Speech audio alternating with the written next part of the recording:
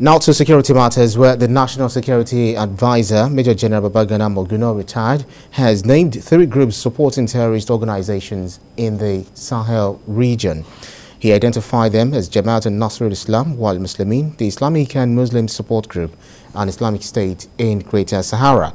Mr. Monguno made a disclosure earlier, earlier in a speech delivered at the 14th workshop of the, of the League of Ulamas, Preachers and Imams of Sahel countries in Abuja.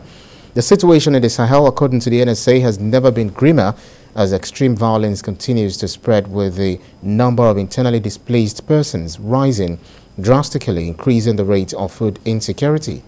For him, there is a need to reassess and reset foreign and regional government strategies towards the Sahel and set aside faulty assumptions.